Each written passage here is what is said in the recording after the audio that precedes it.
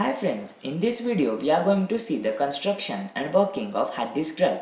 The hard disk drive constructed using the following components. First, disk platter. Second, read-write head. Third, head arm. Fourth, head actuator mechanism.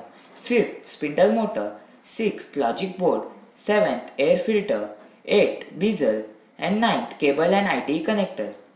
So first is disk platter.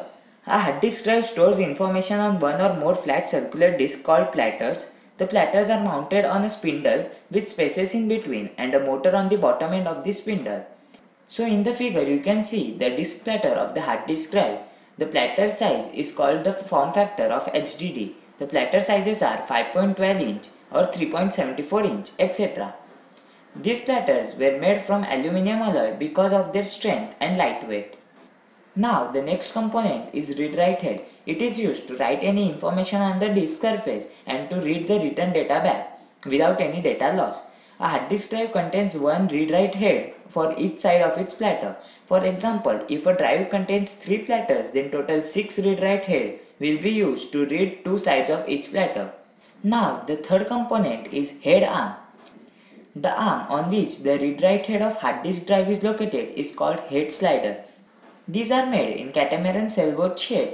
The smaller size slider have many advantages such as the lower weight allows for faster acceleration and deceleration. The fourth component is head actuator mechanism. The read-write head of HDD is moved on the platter surface using head actuator mechanism.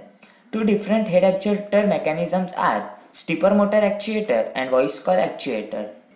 The fifth component of hard disk drive is spindle motor. It is used to rotate the hard disk drive platters. This motor directly connected to spindle on which the platters are connected so it is vibration free.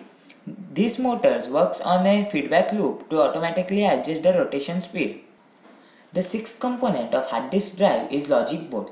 Logic board controls all these different parts of hard disk drive. It is also used to interface hard disk drive with the computer.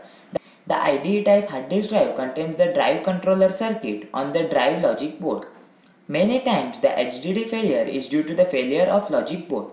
A power problem or some other problems may destroy the logic board on the HDD. The seventh component is air filter.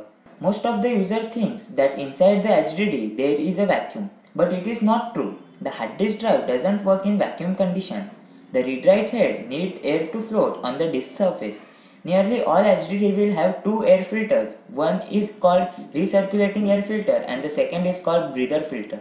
These filters are permanently sealed inside the drive and can be never changed till the entire life of the hard disk drive. The eighth component is bezel. Bezel is front face plate provided on the most of the hard disk drives. Nowadays, the most of the HDD is connected internally and is hidden to the PC user.